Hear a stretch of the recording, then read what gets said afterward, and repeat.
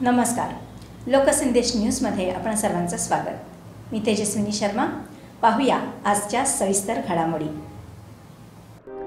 सहकारी आणि खासगी संघांकडून गायीच्या दुधाचे दर कमी करण्यात आल्याने दूध उत्पादक शेतकरी आर्थिक अडचणीत आले आहेत आणि त्याच्या निषेधार्थ आज शेतकरी संघटनेने सांगली जिल्हाधिकारी कार्यालयासमोर ठिय्या आंदोलन केले. यावेळी घोषणाही देण्यात आल्या. महाराष्ट्र शासन गाईच्या दुधात प्रति लिटर पाच रुपये इतके अनुदान देत होते. मात्र एकतीस जानेवारी अखेर ही श- योजना शासनाने बंद केली.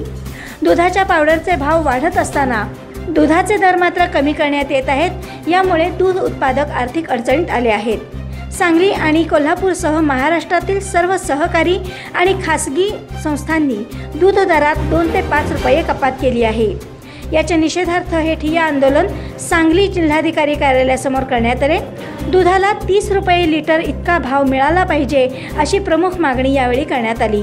महाराष्ट्र शासनाने गाईच्या दुधाला सत्तावीसशे रुपये दर देण्याचे आदेश दिलेले आहेत.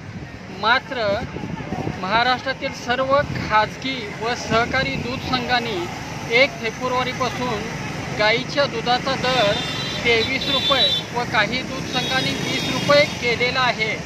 वास्तविक गाईच्या दूध पावडरीचे दर एकशे तीस रुपयेवरून दोनशे दोनशे दहा रुपये झालेले आहेत. तू तूप व लोण्याचे दरही वाढलेले आहेत. आणि तर गाईच्या दुधाचे दर वा वाढवायचं सोडून ह्या सर्व दूध संघांनी दुधाचे दर कमी केलेले आहेत. गाईच्या दुधाचा उत्पादन खर्च हा एकवीस ते बावीस रुपये येतो. आणि आता जे शास दूध संघाने दर दिलेले आहेत त्यामुळं शेतकरी आर्थिक अडचणीत आलेला आहे.